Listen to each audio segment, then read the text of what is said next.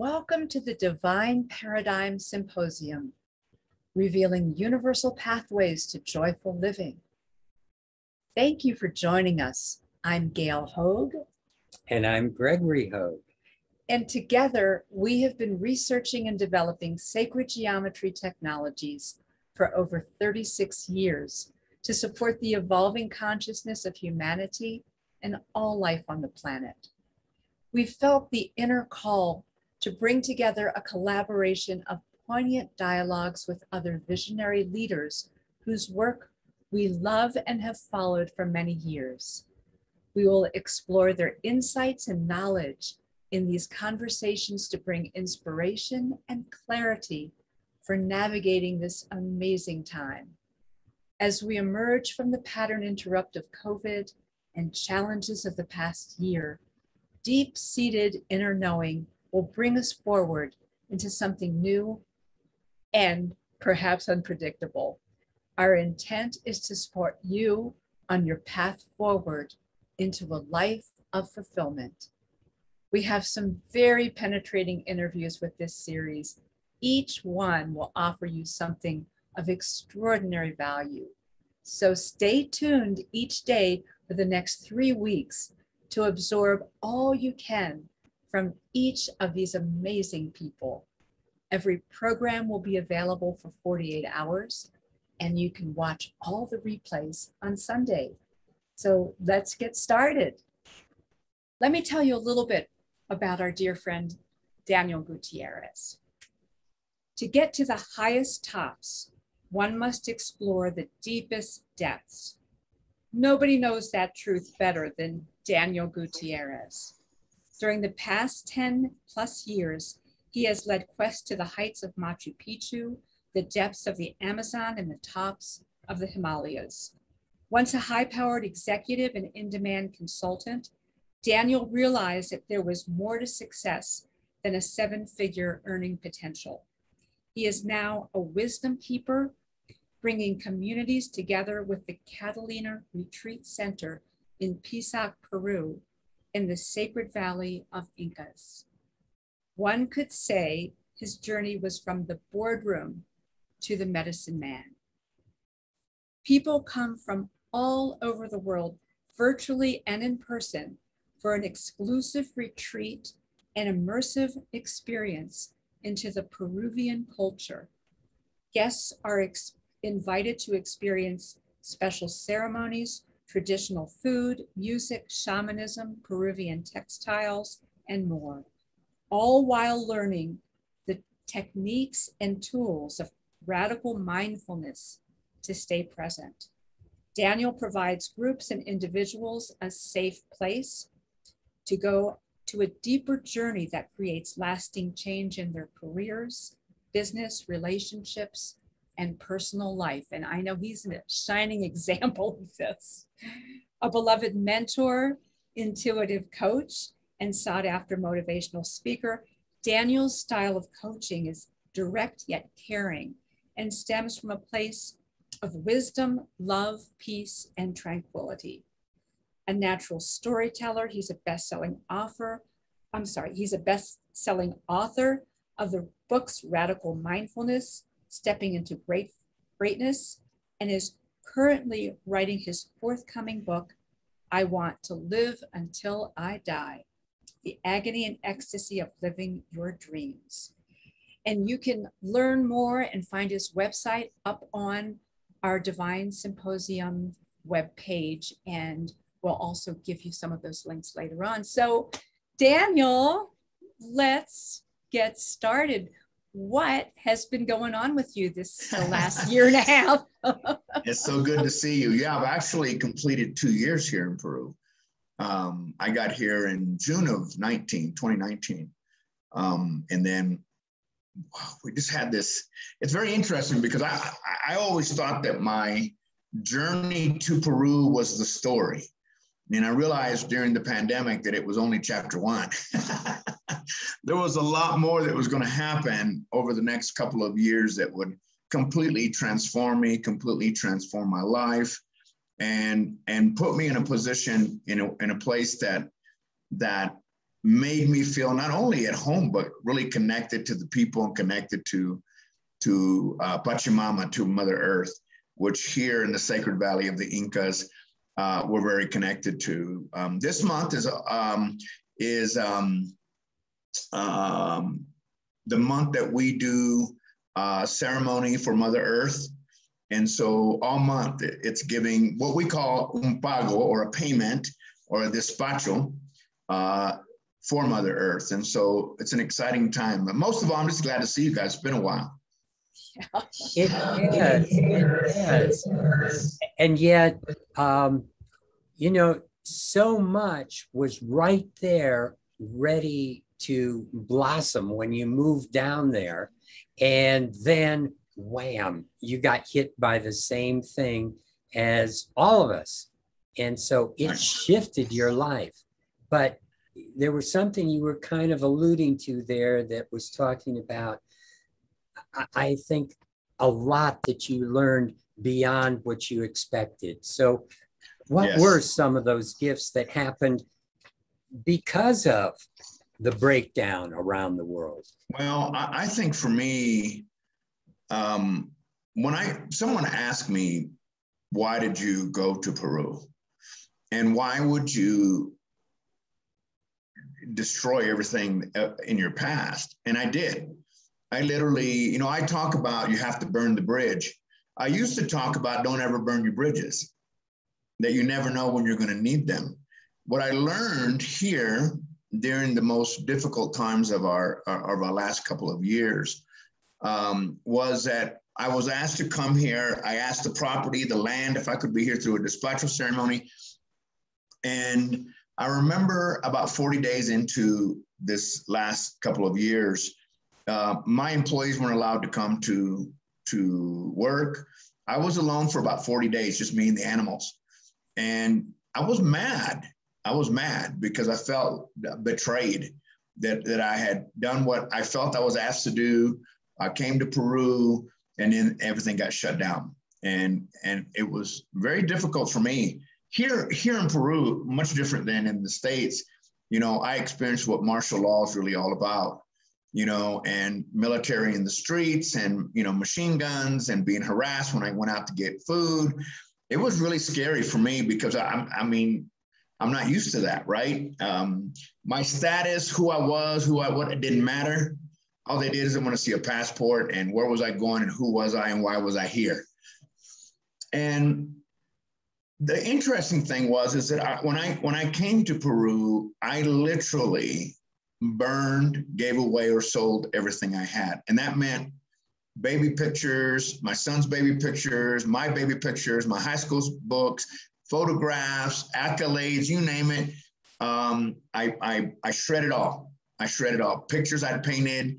Um, and I thought that that was the big sacrifice, you know, for coming to Peru. And, and 40 days into it, I was very, very angry. And I remember finally deciding that I needed to, to get off social media because that's how I was connecting with everybody through social media. And, and just kind of go into my own space, get into my own ceremony.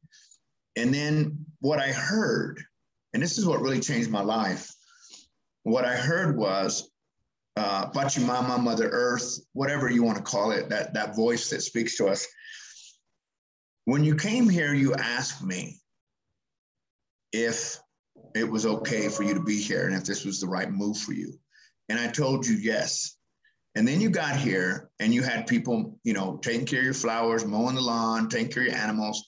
You never once looked at me again. Now you're alone and you're upset. And the only thing I want you to do is to take care of me, the land, the way you took care of your dying mother. I want you to put your hands in the soil. I want you to touch me. I want you to connect with me the way you promised you would do. And I was in tears and I was going, could it be that simple? And I remember going outside and and the lawn had grown up because I have no employees.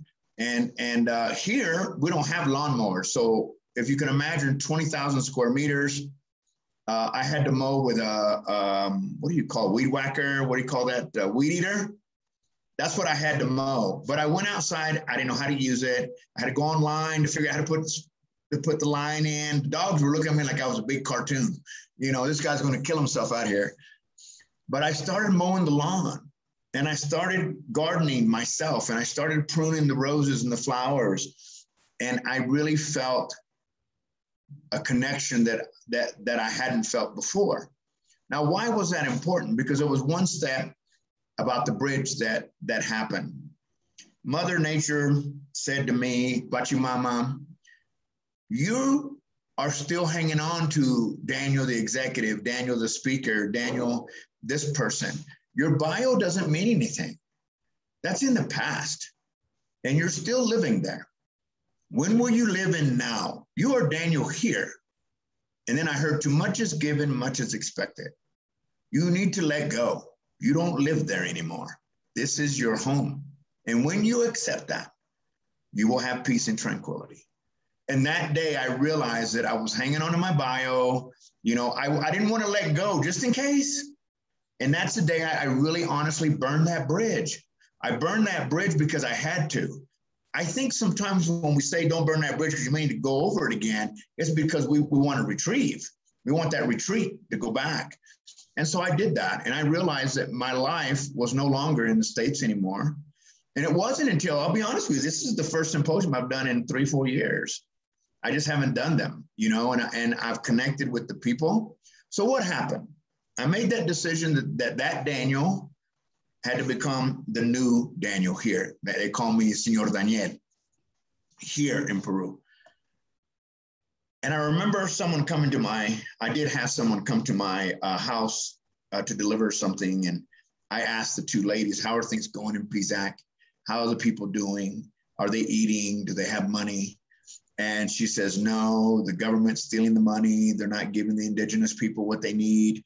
The indigenous people, there's 12, uh, 12 tribes above Pisac. And those tribes were, fences were built so they couldn't come down. So we weren't allowed to go up. They weren't allowed to come down. And so even though they have potatoes, they didn't have uh, matches to light a fire, oil to cook with, things like that, right? And when I heard this voice, this is a, this is all changing for me at the same time. And um, much is given, much is expected. What, what does that mean? What do I do? And then when those two girls came and told me that, I said, I got to do something. I, I, have the means to do it. I'm going to do it. I don't know how. And then I was, this is almost like a chapter out of, uh, what's the name of that book that was done in Peru that everybody knows? Um, the Celestine Prophecy in the night, I went into to Pisac and I met with the former mayor of Pisac. And I said, How do we help the indigenous people above? He says, Well, I still have connections. I'll get you permission from the government and permission to get leave your house so you can go up in the communities. I said, I'll pay for it. How do we help these people? I had no idea there were 4,500 people up there, you know. Um, and you know what? We fed and took provisions for all those families. And every day I would wake up early in the morning and I and I would get harassed and I would get asked, why am I out? I'd have all the paperwork I needed. I had to show them that I had permission. And, and I began to build relationships with those people up in, in the mountains. Now they're my family. Now they're my friends. They check on me. They bring me food. They want to know how I'm doing. And, you know, I say all that because I think when we think about, about pursuing our dreams or pursuing joy, I think there's some some sacrifice that comes into that. I mean, I remember so specifically what happened to you guys with the flood because it was that moment where it was like, okay, you have to be able to accept all this, and boom, it's kind of like what happened to me here in Peru. It's like all of a sudden I was like, wow, now what do I do with that? Right? I think that deep level of transmutation, that deep level of change that comes within our soul. What what is the the prize on the other side. We talk about joy and peace, tranquility, and transmutation, but there's something deeper than that that I've experienced. And that is every morning, just about every morning. And by the way, I, I mean, this is kind of funny because if you knew me in the States, I mean, I wouldn't walk a block without a car. And, and if I was in New York, I wanted my, my limousine. I mean, to tell you what I'm about to tell you is hilarious because my house the, uh, downstairs doesn't have hot water. We don't have hot. We don't use hot water. They take cold showers here, as a matter of fact. Except in the center, we have hot water. But in my house, I have to go down and boil water. I have to grind the, the beans. I have to put it in a machine. I have to pour the water, and then I have coffee. Where I used to just hit a button. Everything was done. I was ready to drink coffee. But I grab my coffee and my dogs, because they sleep inside with me, and I walk my property every morning. I check on my guanacos and my alpacas and my sheep and make sure everything's okay. This is the part that I never would have expected to experience. My soul smiles from the inside out. My soul says, I am at peace. All is well with your soul. And, and that's when I know that the decision I made was the right decision. That was the right decision for me. And my wish for everybody is that some some place in life when we can let go of our social constructs and things that keep us in, in line, things that keep us confined, constricted, that's that even just a glimpse of that, people will find that that it's possible. I smile every time I walk my property, and it's a deep level connection, not just to the to to Mother Earth, to Pachamama, but to myself. You know, I've said to my son, and you guys know him, you know, uh, when he came to visit, I said, son, don't worry about your dad. I know I made a very drastic shift. I said, but you know, I've made peace with life and I made peace with death. I said, and I am clear that I'll take my last breath here and it's going to be okay. And that's a lot for me to say, considering I love my son so much and I've only seen him once in two and a half years. But I did the right thing for me, right? I did the right thing for me. And so that's a little bit, I mean, it's just a little bit of what has happened these last couple of years. And that's why I say, you know, Catalina should be bankrupt. I should be bankrupt, but I'm not. And I'm still making space. I had I had already talked to the government about changing into a hospital for COVID. I mean, I, I wasn't give I wasn't going to give up. The, you know, I think it's something beyond dreaming. It's something beyond. It's beyond all that. It's beyond all that. And, and that very clear, distinct knowing that I'm in the right place. I know it's very difficult for my friends in the US to understand that because they knew me when, you know, I wore my $2,000 shoes and $2,000 suits. You know, now I'm walking around in dirty sweats. and I'm happy. wow. That's, you know, that's really incredible. And one of the things that I want to touch on is way back at the beginning of your story, you talked about being really angry before the mm-hmm. breakthrough, before that right. breakthrough. Yeah. And that's something that a lot of people experience when things aren't happening, you know, the way they expect them to happen. And so, can you just briefly talk about who were you angry at? Where was the right. anger going? and it, it, right things shifted, but what happened to really shift that anger? Well, it's really funny because the what triggered the anger every day for the first 40 days of our uh, confinement here in Peru, I was putting a, a, Facebook video live to let people know I was okay. I'm talking about my day, what was going on, really nothing. But I just felt that was my connection to, to the world. And then one day I said, I'm having a I'm having a, a tragic uh, experience right now because I'm out of bacon.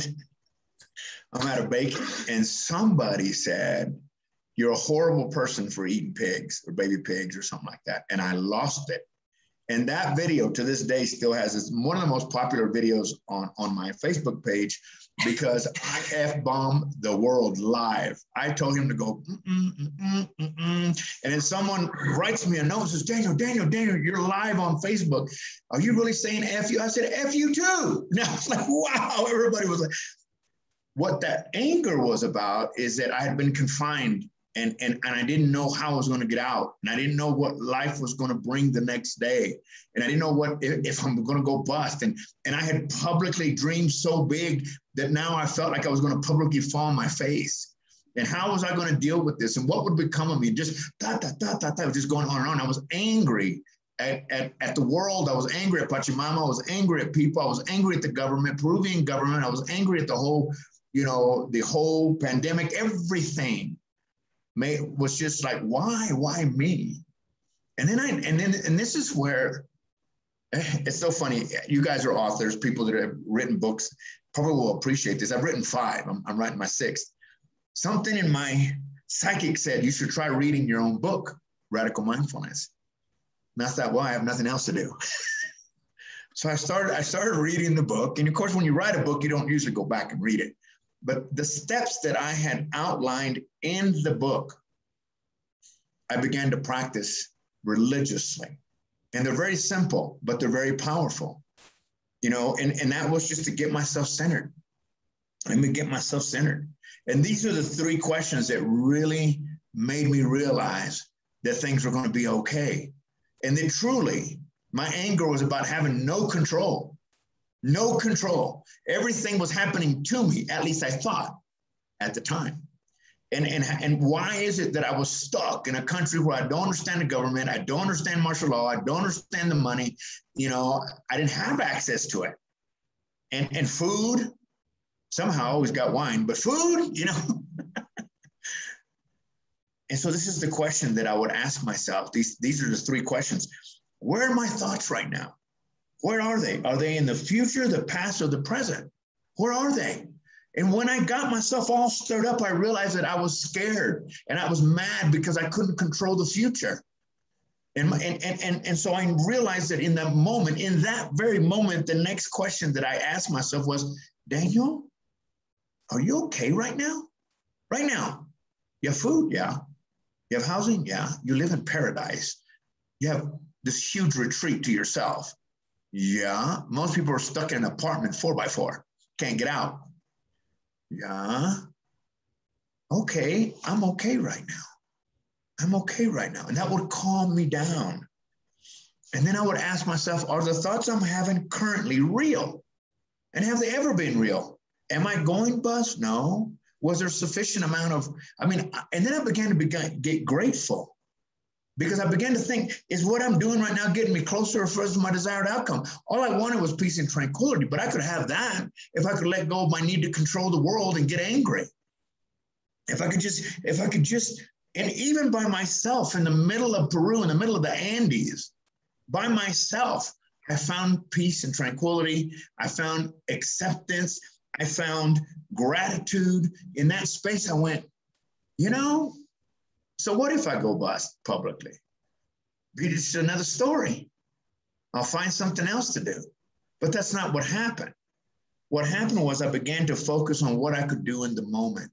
And what I could do in the moment was enjoy my animals, enjoy my property, mow the lawn because it was green season and I had to mow the lawn every day. And I mean, a lot. It took me three days to go through it once, three, four days to do it all once. And my property looked beautiful. Then the pipes would bust.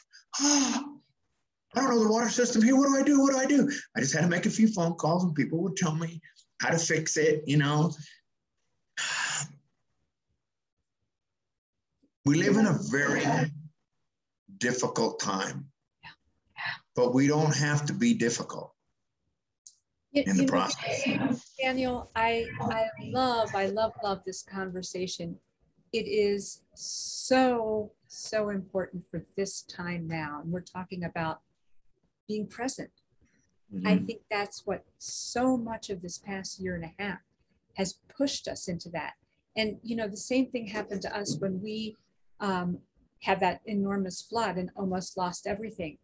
The mm-hmm. way to deal with it was to get present, to be here right now. It was such a remarkable learning. And we've all spent our lives since we were tiny trying to pretend that we're in control of things. Mm-hmm. that's ludicrous. We truly aren't. And this transformational time, the way that I see it, is really about us moving outside of that control mechanism.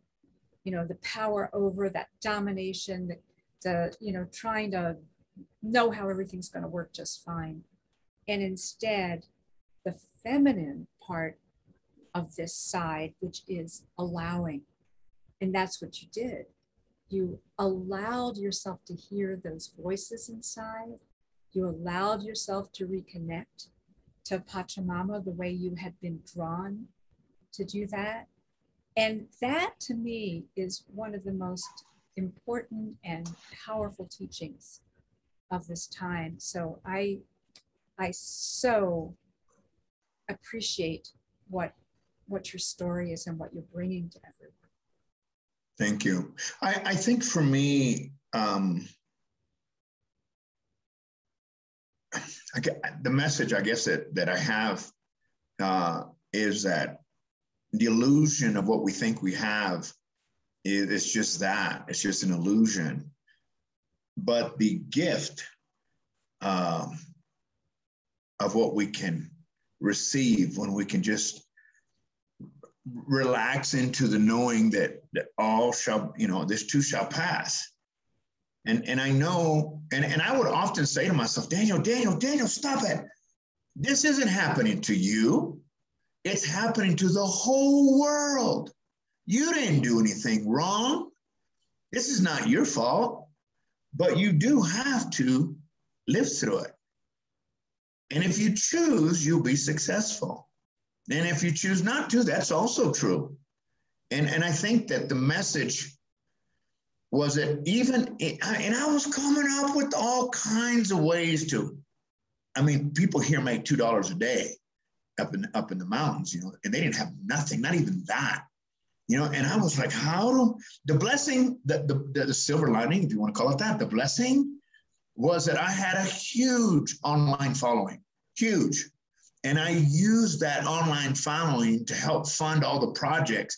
I grew a garden to feed the people up in the mountains and they could come and take what they wanted. You know, I, I, I built a chapel, a, a miniature chapel with gold and everything so that people would have work. I bought chickens so I could give away eggs when they were hungry, you know, and I still do all this stuff. And that was the beauty of, of, of that. There's, there's something to do there's something to do here. Now go back to that too much is given, much is expected. This this time in our in our history didn't happen to you. It happened to all of us. That's this is the first time we've ever experienced that as, as human beings in this time frame. We've never had the whole world have the same problem at the same time. And then I think about, you know, I talk about I want to live until I die. I want to live until I can just I, I don't I don't want to not not turn over one stone. I don't know when my last day is. And, and I and my whole dear in my heart for those people who didn't know either. They're no longer with us. We don't get tomorrow. We get today. And in today, you can make choices that, that change the outcome of your future. But today is the only day we have. And I would wake up every day and just say, I'm alive. I'm not ill. I'm in good health. I have food. I have a huge online community, and God bless all those people that supported the projects that I was doing, and they still are. I, am this this December. What I, I'm I'm hosting an event for 2,500 children with the help of the people online. They're going to support, help give these kids gifts and give them chocolate and give them bread because they don't get that here. They don't get that here. And and that was the that was the blessing. That was the you want to be a tourist in Pisac or do you want to be part of the community? And you have much to give. So give it. Give it away without any condition of anything in return. And I did. I did. And there, there, and I want to share this one story because there's a there's a um, a saying here or a way that the Incas lived during the times of the Incas. It's called Ayni, a A Y N I, Ayni. Ayni is me today, you tomorrow. And I never really understood that because here, what happens in, in the Sacred Valley is that when somebody is, is uh, harvesting their land or planting, the whole community comes and helps them. And then when that person's time to harvest, they'll go help him. When somebody gets married, the whole community comes to the marriage and supports them and buys, you know, buys everything they need to make sure that their wedding is successful. when when there is a, a, a death in the family, then everybody shows up. And I thought, wow, that's really cool, but I knew it intellectually. In December of last year, my reception center burned, caught on fire. I was. I thought, you never want to say what else could happen, but I was devastated, devastated. I remember falling on my knees. I was just crying. My staff, the people at that time had been were there. They had never seen me in that space where I was broken, broken. Obviously, this is after I had been up in the communities when they didn't have food and and and things that they needed, and I came and gave them that. I built this online store for all the communities so they could sell their wear. I paid for their taxes, I paid for their shipping, and people were able to buy their things. So I could, and I gave them cash, and I still paid for all the all the in all the fees. And then I'm sitting there and literally broken. It's raining. My place is on fire. I don't know what I'm going to do. I'm tired. It's been a rough year. You know, there's been no income. I didn't have income for 18 months. You know, I, I didn't know what, what to think. And as I'm sitting there, um, one of the uh, finally we got a fireman, a friend of mine, to show up, and you know we put the fire out before it burned everything. But the communities that I had openly served without any conditions began to show up one at a time. this always chokes me up because they said, "Senor Daniel, we're not going to let you fail. We can build that for you.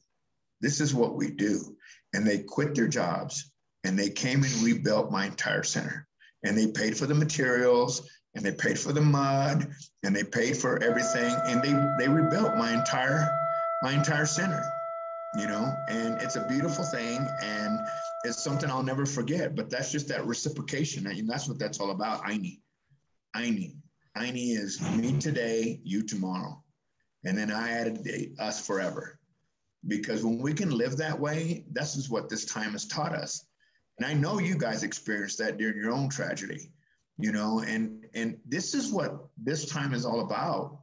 It's about connecting to ourselves, connecting to each other. I didn't really understand community. I mean, I know in the States for me, it was all for one, everybody, everyone to themselves, every family to themselves, every person to themselves. And that's not the way they live here. And, and that's why I'm so in love with the people here.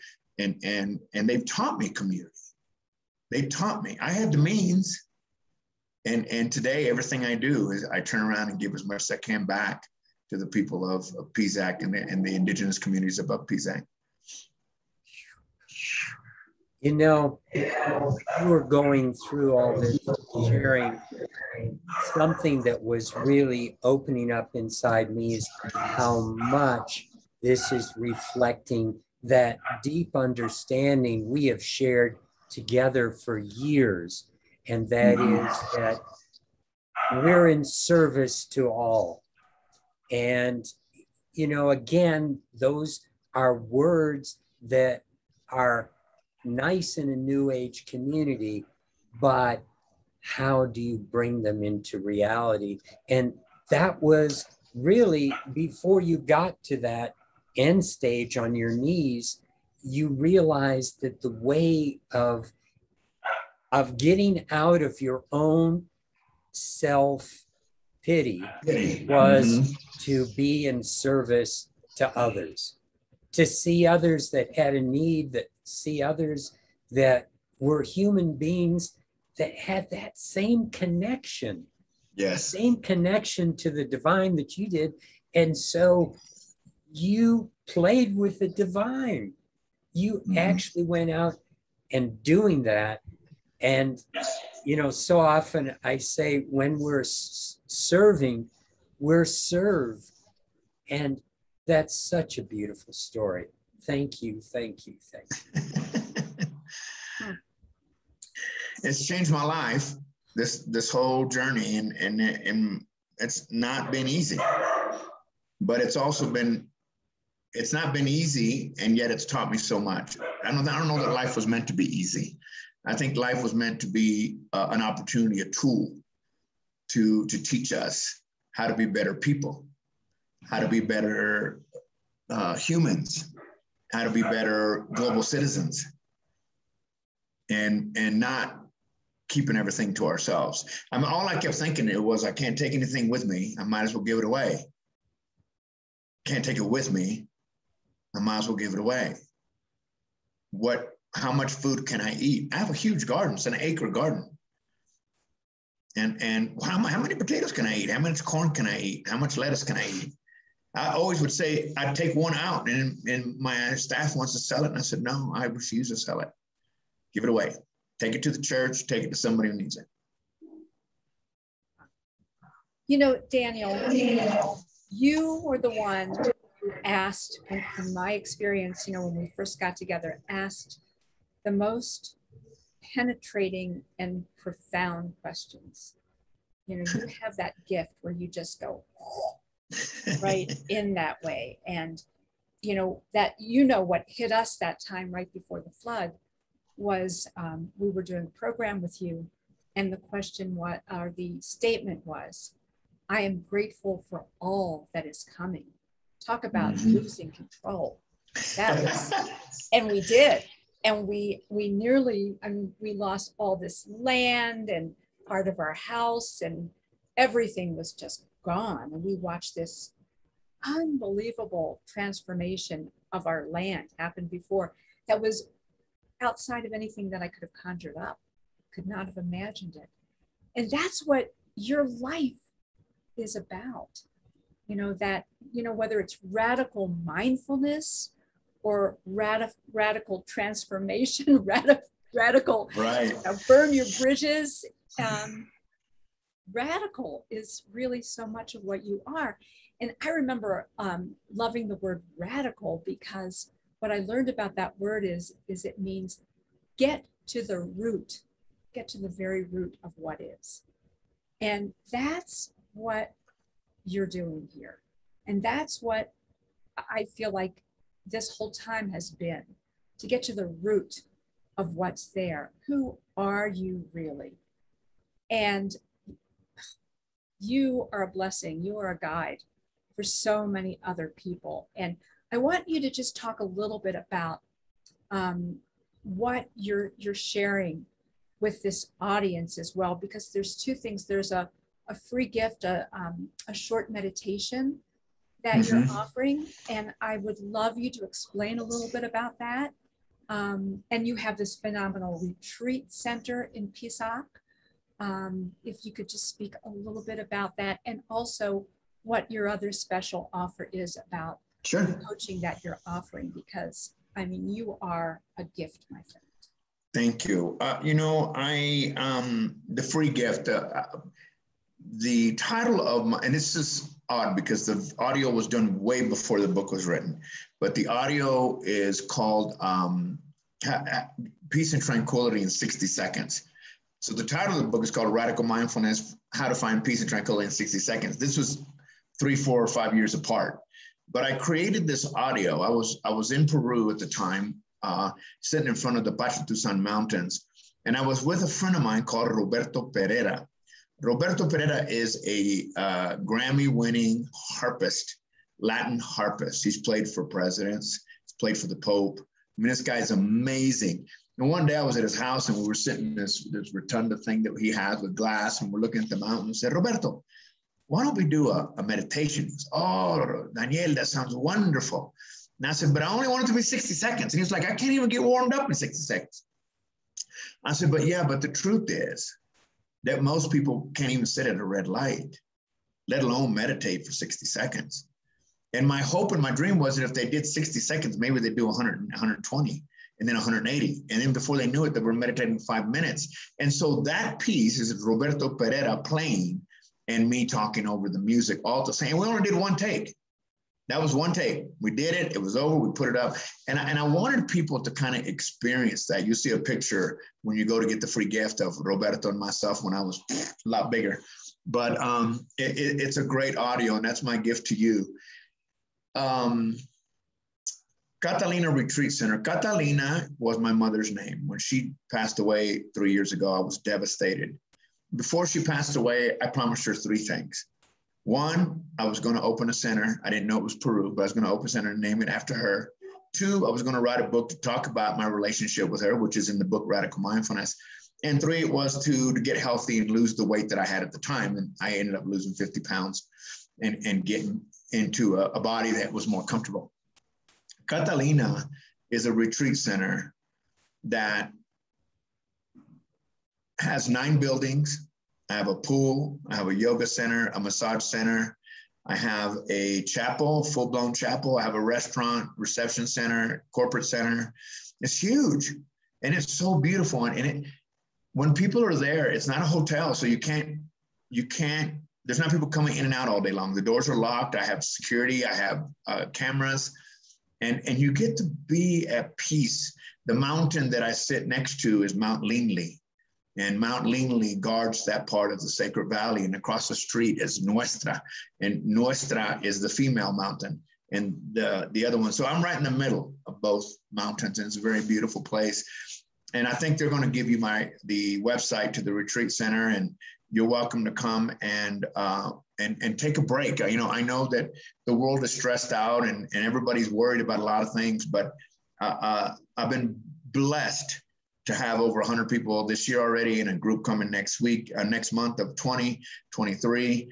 Uh, I want you to come. If it's something you want to do, you can always connect with me and we can talk about it. And in the coaching, well, why, you know, the blessing, the silver lining in all this was that I had a huge online following and, and I could ask people, you know, to do coaching or do, I wasn't doing speaking, but I did some, some Zoom stuff. Uh, but the money I make today is really so I can continue doing my work. So I can, right now, I'm doing two projects. I'm helping build a bridge where a little boy fell off. There was no bridge and, and was killed. And I promised the, the leaders of that community that I would find a way to help them build a bridge. And so I'm doing that. And then, of course, this, this children's thing and the coaching that I'm offering uh, is 30 days of coaching, uh, one day a week for 30 minutes. You know, we find something we want to focus on, focus on it, get you moving. My normal price for that is 19.97. I usually charge a couple thousand dollars for that, and I I've never done this. I told Gail, I said, but I, I, just feel compelled. Again, I'm always wanting to help. You know that um, this offer during the time that they're running their uh, symposium is 197 dollars. Uh, why so low? Not because it's not valuable. I don't want you to even think that. It's because $197 goes a long ways here, a long ways. And I can do a lot with that. Now, I don't, I just got a place in my life where I don't need any extra. I don't even have a car. I've been walking for two years because I don't want to spend the money on a car. I said, why do I need that when I someone can I can go on a uh, a bus? It cost me six soles, you know, a dollar something, and and so I'm always looking and doing projects and, and supporting the community. And this is a way that serves the person that needs coaching and it serves the communities that I serve. And so those are the offers that, that I have right now for you. Wow. Oh my gosh. Daniel, that is, that's so generous. And, you know, Greg and I really want to come to Pisac and come to Catalina. And we will, we will. I when promise. the time is right for everybody, they'll show up. That's the way I feel about it yeah, it, it's a little hard to travel yet with, you know, yeah. all the disease that's still going on around. Right. However, know that we will do that. And um, the generosity of your soul and, you know, you are truly, you're, you're truly a guide. And, um, and you are, you didn't really speak to this, but you are a shaman. And, you know, thank you. And you are not just playing being a shaman, you are living it with yeah. all of what you've been through and what you're doing and um, and what you will be doing. And I know that you are just working on so many, so many divine levels and working with our good friend Metatron as well, right, Daniel? That's right. Yeah, Metatron. Yeah. So um, the information about Daniel's gifts are up on his page. Um, we really suggest that you take advantage of it. And if you are called to a spectacular journey, like what Daniel is offering at Catalina, um, check it out and check out his work. He is just a gift to so many of us and certainly to the people of Peru, uh, just uh, the indigenous people what a gift you are to those beautiful, beautiful souls. And I know that they're a gift to your soul as well. Yes, they are. Um, I, I just um, you're, you're a treasure. You truly are. Thank you. And I appreciate this time to connect with you guys and all of you that are watching and look forward to speaking to as many of you as I can. Yeah. So, do you want to say something else, Gregory? Uh, I know you're you're very busy today, and so thank you for your time. But especially thank you for your heart.